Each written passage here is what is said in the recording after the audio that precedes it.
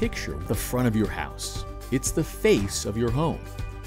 If you close your eyes and think about what your house looks like, the front of it is usually the side that comes to mind. While curb appeal projects can make a significant visual impact, nothing adds more value to the front of your house than a proper walkway. In this special episode, we'll weigh the pros and cons of new walkway materials. We'll show you all the ways a walkway job can go wrong. You gotta be kidding me. And we'll share some of the best practices for replacing and installing them. You just did your first walkway. Congratulations. Sounds good. That's all coming up next on Ask This Old House. The shape, style, and size of a walkway helps define the space and design of the front of a house, and there are plenty of materials to choose from for the project. First, there's natural stone, which is great for natural landscapes that might mimic a small woodland path. These are New England stepping stones. I love it. So what we're gonna do is we're gonna lay them out and then we'll adjust them at the end, okay? Okay. There's also bluestone, which is a popular material in New England. Its beauty and smooth, flat surface makes it a great option for front walkways, but it's a little more expensive than other materials. A more cost-effective solution comes in the form of pavers. Pavers come in a uniform size, which makes them easier to install. Brick pavers work well in more traditional landscaping, but concrete pavers are also an excellent option. We're gonna lay this in an ashlar pattern. They come in different sizes and colors to match just about any landscape design. I love this color, it's gonna work out perfectly. Recently, Jenn and local landscape contractor Rod Pappas helped a homeowner completely redesign her front landscape. One of the central features of the new landscape? A front walkway that could safely transport the homeowner's wheelchair bound mother. All right, so here are our pavers. These are all modular, but we picked the color to have earth tones in it. I like the color, but are we going to have any concern with my mom in the wheelchair getting through? No, there's they're going to fit together really close. There's not going to be any mortar joints, so we're talking about maybe a sixteenth of an inch in They're gonna be between those tight. joints. Real tight? Okay. Yeah, so it's not gonna be any divots that you're gonna fall into. Okay. This is going pretty fast. Well, there's modular bricks, and as long as you have the proper base that we put down, it's gonna fly. Oh, I love these colors. I know, you really could tell the Yeah. color scheme when it's all laid out. That's why if you're ever getting samples for a job, get at least five so you could uh, really get a sense of what the true palette is. Okay, Jenn, we're going to use this piece of pipe measuring the distance from that border there to the edge of this pipe. All right. And after we get that, I'm going to put this brick on there to hold it in place. So now we're ready to move on to the next spot. Okay, we're going to trace this line of PVC with a pencil on top of the brick and then come back with a wet saw and cut it after we remove the pipe. The yard looks incredible. Thank you both for all your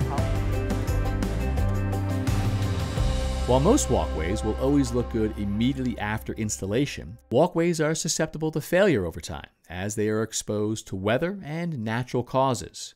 Sometimes landscapers and hardscapers can anticipate these natural occurrences and build for them. Other times, it's a little out of their control. A few years ago, Roger helped a homeowner repair a section of his asphalt walkway after it had been lifted up by a tree root. Let's see what we got. If I put the level across this hump, this is heaved up almost two inches. Now, I agree with you. I think there's definitely a root from this tree growing underneath the walkway. Is there anything we can do to fix it? Well, it's an asphalt walkway and it's in real good condition other than for this spot right here. So asphalt is fairly easy to patch, much easier than concrete would be. But the first thing we have to do is find out just how big that root is and get it out of there. The important thing is going to be to cut the root off clean. If you took a grub hoe or something and just ripped it off, it could rot, and that rot could end up getting back into the tree. But we're going to cut it off clean just like you would a branch, and it'll heal. Well, Paul, we were right. It's definitely this root that's causing the heaving of the walkway. Now, this root originates up at the flare of the tree, comes down underground, goes right underneath the walkway. Then it travels out into the lawn looking for food and water to bring back to the tree. Now, if you look here, this is a, about a three inch diameter root. That's not a major root for a tree this size. If we cut it off clean, it'll heal properly and this tree will be fine. So I'm just gonna take my handsaw and start underneath. How come you're cutting on the bottom? Well, Paul, if I just cut from the top through, there's a chance when I finish that cut, I could rip the bark on the bottom. And I want to have a nice clean cut. And by doing it this way, I will.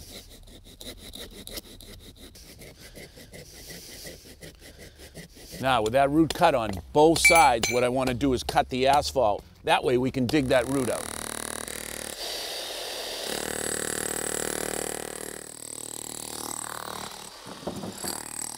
Once Roger and the homeowner dug out the old asphalt, they dug the root out from underneath the walkway. All right, let's see if it'll come out. Look at that. All right, now what we need to do is start building up so we can get up to the level where we'll put in our asphalt. So if you grab that sledgehammer behind you, and I'm gonna grab mine, we're gonna go right around this trench, making sure that everything's completely compact. Then we'll put a layer of gravel on top of that and keep building up. There we go. Keep packing that down. Paul, that looks pretty good. You've got it really compact and the depth is just about where I want it for the new asphalt. laying two 2x6 boards on either side of the walkway to act as a form for the asphalt, they fill in the hole with asphalt cold patch and compact everything down.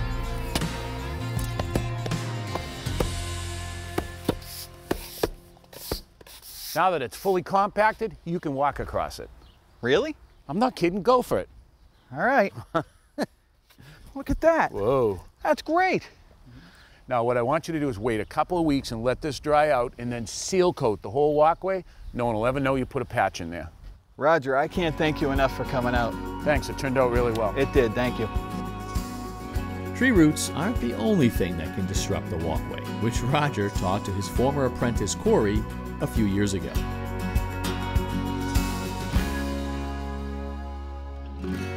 Corey, I got an email from this homeowner and I thought you might be able to help me figure out what his problem is. Now we got a nice set of granite stairs and we come up to a paver walkway, but look at these pavers. They've all moved and slid and they're really dangerous the way they are now. What do you think caused it? Uh, could it have been water? Well, if water did it, it would have to be a real strong gushing current and I don't think that's the case here. What if the water froze and went up and down with a thaw? Yeah, it would only move it a little bit if it did that, and it's opened it up quite a bit right now. Yeah. So what I think it is, chipmunks. Oh, really? Yeah. See this? Oh, look at the huge hole. You think they're still in there? I doubt it. Look at that trail, Corey. See where they bored right through underneath these pavers? Oh, yeah. No wonder they settled. They make two types of burrows. Okay. One of them's really shallow in an area like this with a lot of ground cover, mm-hmm. so they can come in and out and not get eaten by a hawk or a fox or something like that. Okay. But they also have another burrow, probably 15 to 30 feet away from here, that's one to three feet deep, and that's where they winter over and store the nuts and everything for the whole winter. So I think the first thing we should do is tie the shrubs back so we can actually see what we're working with, and we'll go from there. To fix the walkway, Roger and Corey pulled up the sunken pavers oh, and compacted the base with new pack material. The pavers could then be reset into the walkway, ensuring that the pavers remained level with both the granite step and the rest of the walkway. But in order to truly repair the walkway, they needed to prevent new chipmunks or other critters from burrowing under the walkway again. Roger, this came out great. Well, we're not done yet. We have to think about the problem we had caused by, Those chipmunks. that's right, they bored underneath and the whole thing settled. Could we prune back some of the bushes so that way they have no place to burrow under? Well, these people have a very naturalistic landscape here, and I'm sure they want to keep it that way, so that's not going to be a key answer here. What else could we do? Well, if I was building a vegetable garden and wanted to protect it from the chipmunks, I'd use this hardware cloth. It's about a quarter of an inch mesh. They can't chew through it. Okay. But you want to dig down a foot and have a foot out, and that'll keep them from trying to come in through the bottom. Oh, okay. But I can't get this hardware cloth to fit down in there. Okay. But I think if we mix up some concrete and pack it in there, that'll stop. And they won't bite through that. I don't think so. All right. Front part.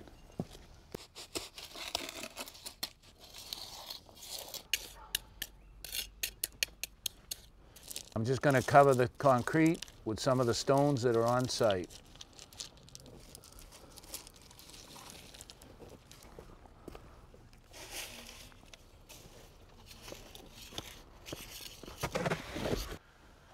So, what do you think? It looks great. It's like we were never here. More importantly, it looks like the chipmunks were never here. Exactly. Thanks for your help. You did a great job. Thanks for bringing me along and showing me what to do. Got a little cleanup to do down here. While forces of nature are usually to blame for failures in walkways, oftentimes the installation job itself can cause the walkway to fall apart over time. The ground beneath us moves slowly over time, leaving most hardscaping vulnerable to move with it. To keep them in place, walkways need a deep, firm, solid base. In most hardscaping installations, the ground is dug down to about 6 to 8 inches, depending on the thickness of the material. The ground should be compacted flat to ensure the base is level. Then, some type of gravel or crushed stone is poured onto the base. The stone allows for drainage, which minimizes the amount of water that could be absorbed by the ground during a freeze thaw cycle, which is the major culprit for walkway damage. Like with the ground base, it needs to be compacted tightly to ensure minimal movement between the stones. Finally, a mixture of stone dust, water, or pack material is placed on top of the crushed stone to secure the walkway material in place. Depending on the application, this can be substituted with mortar. A good, strong base takes time to build properly. Laying the base of any hardscaping is the most important part of the job, but it's also the part of a walkway installation most people are eager to rush through. Now we want to dig down about three inches to accommodate the new bluestone I'm going to put in. What the? What is that? Hit something. You gotta be kidding me. There's concrete underneath this walkway. What does that mean for us? It means for us that the mason who was here before, instead of laying this bluestone in a bed of mortar on top of the concrete, he cheaped out, put down sand, and put the bluestone in on top of it. Is it fixable? It's fixable, but let me show you one thing. This is what I was originally gonna do. I brought this bluestone. It's two and a half to three inches thick. See the difference? So small. This is what I wanted to put in to keep everything from moving. So what we're gonna have to do now is we're gonna have to get some thin bluestone and lay it in a wet stone dust bed so it doesn't move around. Got it. All right, now put this one right up in the corner. Without a strong base, walkways are susceptible to movement, which can cause cracks and gaps that can be a challenge to fix. All right, that looks better, much better. First of all, the brick are in good shape. I really like the brick. What I don't like is places like this where they've heaved up, you could trip, and again, another hole when they settle. Now that's telling me that there's something wrong underneath the brick. So the first thing we need to do is go underneath the brick and take a look and see what we can find. I want to take one of these edge bricks out and take a look and see what's underneath here. I'll get one more out. Okay. Now, look at that. Sand and loam, neither of which make a good base for a walkway. So that's why it's sinking. That's right. Now I have good news and bad news for you. The good news is the brick are in good shape and we can reuse those. What's the bad news? The bad news is we have to take up all the brick and dig out all that sand and install a proper base under your walkway. That sounds like a lot of work. It is a lot of work, but the walkway is only as good as the base it sits on. Now we're ready for the pack material.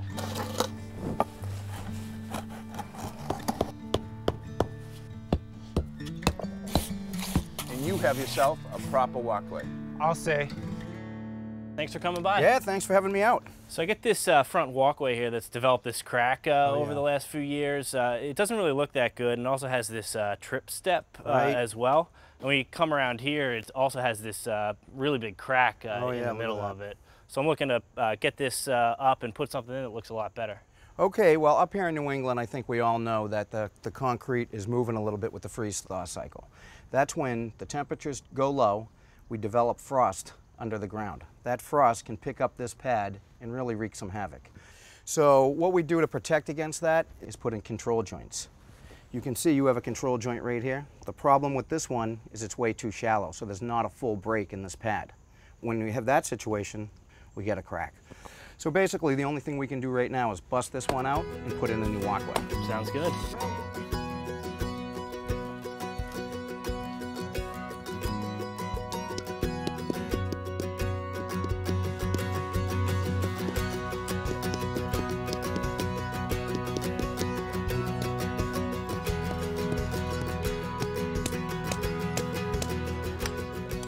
With some hard work and a proper base, any walkway can be repaired or replaced to last for years to come. You just did your first walkway. Congratulations. Sounds good. But of course, the easiest way to maintain a front walkway is to install it properly in the first place. Mark. Hello, Emily. Welcome. Thank you. House looks great. Thank you very much. We've been here for about three years, and Okay. my husband and I did a lot of renovation. We added on our back deck and our stairway from our driveway over here. Looks great. Looks great. So I see a set of stairs. Yes. A driveway, a big patch of dirt in between. So you're probably looking for a walkway. We are. All right. We really like the look of our back walkway over here, but Okay, we very weren't nice. quite sure how to make that happen in this space. That's a, a great looking stone, natural stone, randomly placed, which is what people like. It'll go perfectly over here, and I think we can do it. You up for it? Definitely. All right, let's get some tools and we'll get going. Great. All right, so you can see we marked out the walkway. We have a nice curve in there. These are our stones. Oh, so they're nice and big. Yeah, that's exactly what we want because if you come off the step, you're going to want to step on something solid. The most important thing we're going to do is to make these fit tight, we're going to end up cutting a little. There's no factory edges on these stones, so Okay. we're going to kind of do them ourselves. The first thing we have to do is excavate. So why don't we go do that? Before any digging can happen, we have to call utility locating service to make sure we don't damage any underground utility lines. I've already done this, so we're good to go.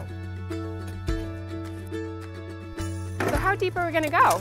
Well, normally I go about six inches deep, but because we're using bigger stones, I want to go about eight. Now we're going to use the plate compactor to compact the sub base. We want to make it as strong as possible.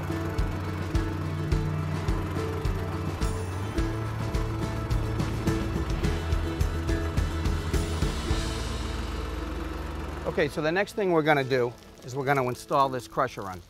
All it is is gravel, stone dust mixed together. Some people call it pack. But what it's going to do is give us that great base that we're looking for. So we're going to bring in a couple inches, pack it down, bring in a couple more, pack that down, and then we're going to be ready for the stone. Okay.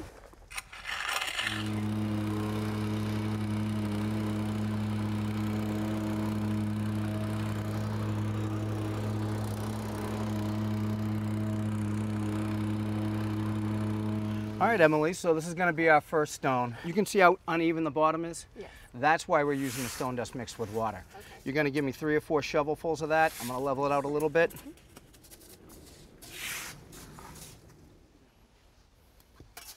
Great.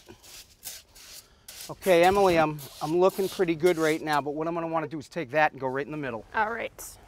And that's going to be my high spot. Okay, that looks good. Why don't you come on over? Okay. Let's move this guy into place. So tip it right down. I'm gonna walk it in. There you go. And this is when I talk about wiggling it down. Yep.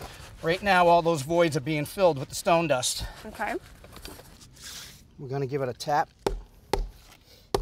You hear that? Mhm. That's solid. Now we want to check for level. A little high. What we want to do is just wiggle that down. See, that took care of it. So now let's go this way. A little high that way. Mm-hmm. All that is is a tap, tap. One more check.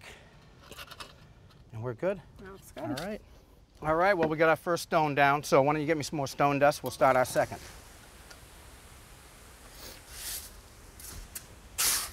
Okay. Great. So how do you select which rock goes with which one? So we're basically just putting a puzzle together. So whatever looks like it fits, throw it in. Mm-hmm. And I'm just gonna try to see what my best Yeah. pieces, and that was it.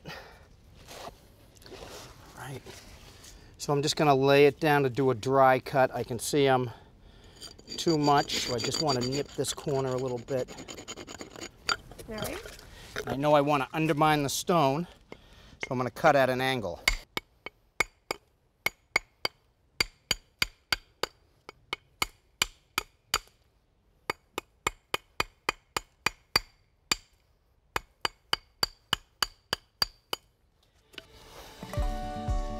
See how much tighter we got? Yeah. Mm-hmm. So take the material down a little bit because it's a thicker stone.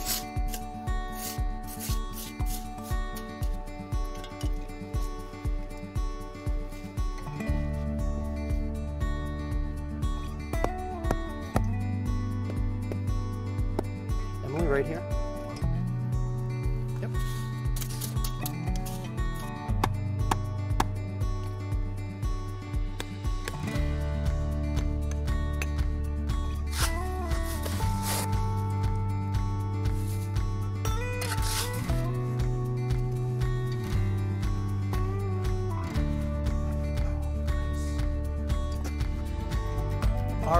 Emily, so we have one more thing to do. It's one of the most important things. It's actually cheap insurance. It's this plastic rail. It's Okay. going to tie in the walkway. So I'm going to start up here. Just Okay. get it down, pick a spot in the middle. Okay.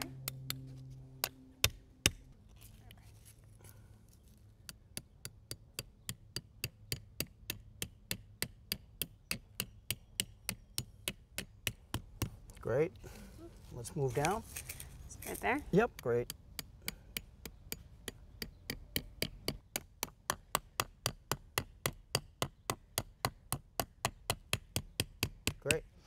All right, Emily, here's the walkway. What do you think? It looks wonderful and it matches so well with what we have back here. I love it. Great. The only thing you have to do when I leave is plant some grass seed on the edges. Okay. And of course, the old pathway that you used to use. Sure, we can do that. All right, but other than that, you're good to go. All right, thank you so much. All right, you're welcome. The key to installing a good walkway is ensuring a firm, strong base, one that is safe from frost, pests, roots, and bad installation jobs. With the right materials and some hard work, your walkway can look great and last for a long time.